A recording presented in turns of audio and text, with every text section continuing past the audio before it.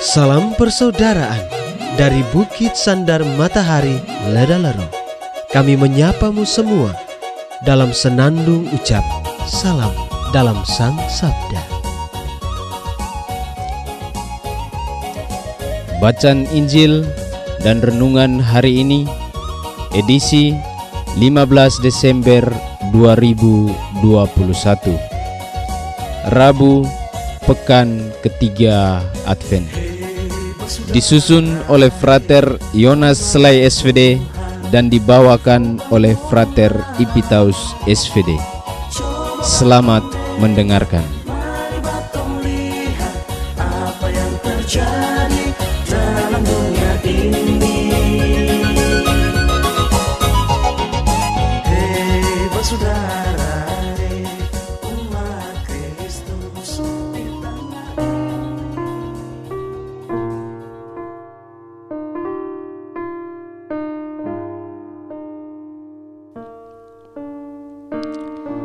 Bacaan diambil dari Injil Lukas bab 7 ayat 19 sampai dengan 23. Yohanes memanggil dua orang muridnya dan menyuruh mereka bertanya kepada Yesus, "Tuankah yang ditunggu kedatangannya atau haruskah kami menantikan seorang lain?" Ketika kedua orang itu sampai kepada Yesus, mereka berkata, "Yohanes Pembaptis menyuruh kami bertanya, Tuankah yang ditunggu kedatangannya, atau haruskah kami menantikan seorang lain?" Pada saat itu, Yesus sedang menyembuhkan banyak orang dari segala penyakit dan penderitaan dan roh-roh jahat. Dan ia mengaruniakan penglihatan kepada banyak orang buta. Maka Yesus menjawab, "Pergilah dan katakanlah kepada Yohanes apa yang kalian lihat dan kalian dengar.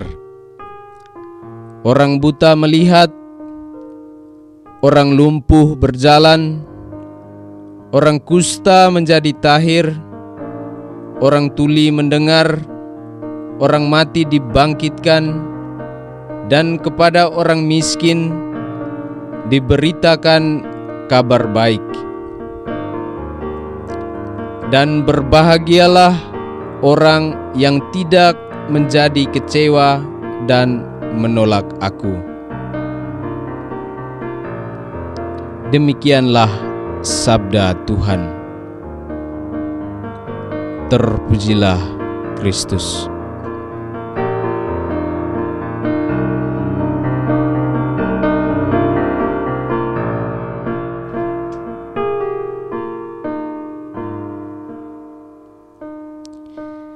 Bapak Ibu, saudara-saudari pencinta Sang Sabda yang terkasih dalam Tuhan.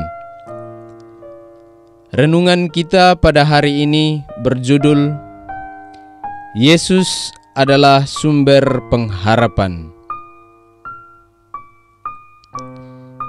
Bacaan Injil yang baru saja kita dengar menceritakan tentang dua orang murid Yohanes yang bertanya kepada Yesus tentang identitas orang yang mereka nantikan.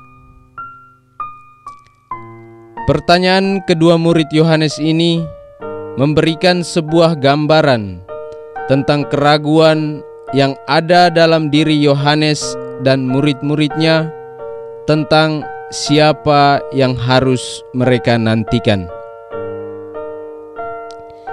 Namun, terhadap pertanyaan mereka, Yesus justru tidak secara jelas memberi jawaban bahwa dirinya adalah Mesias yang mereka nanti-nantikan. Ia hanya memberitahukan kepada kedua murid itu untuk menyampaikan kepada Yohanes segala hal yang telah mereka dengar dan lihat. Orang buta melihat, orang lumpuh berjalan, orang kusta menjadi tahir, orang tuli mendengar, orang mati dibangkitkan, dan kepada orang miskin diberitakan kabar baik.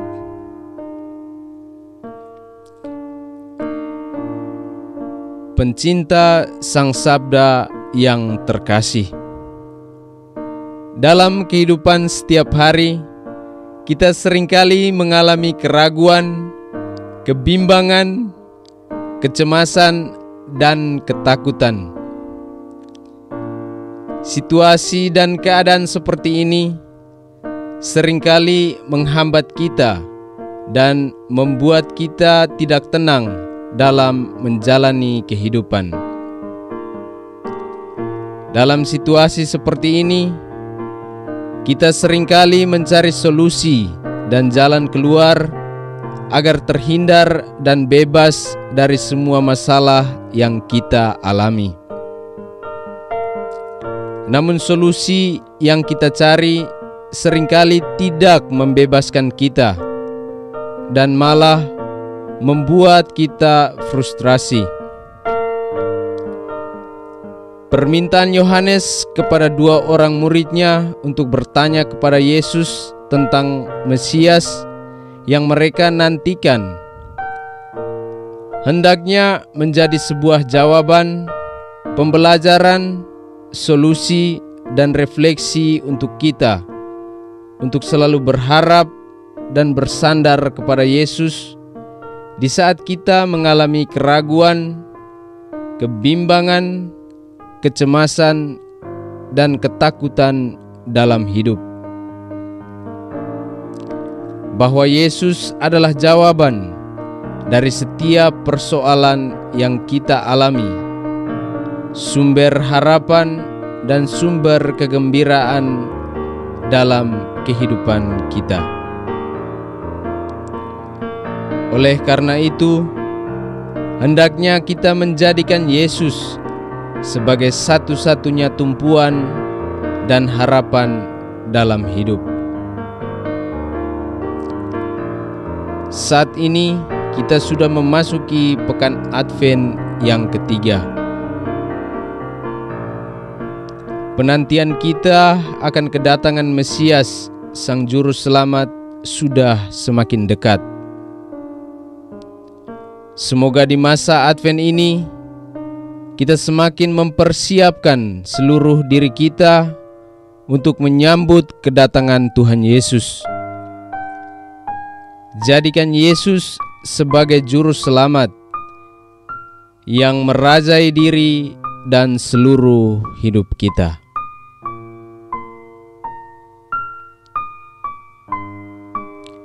Tuhan Yesus Kristus, tuntunlah kami setiap hari, agar kami selalu mengandalkan Dikau dan agar kami layak untuk menyambut kedatangan-Mu. Amin.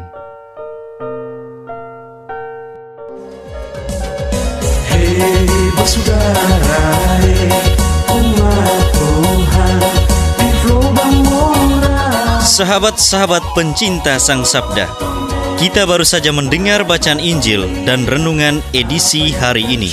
Sampai jumpa kembali pada edisi berikut.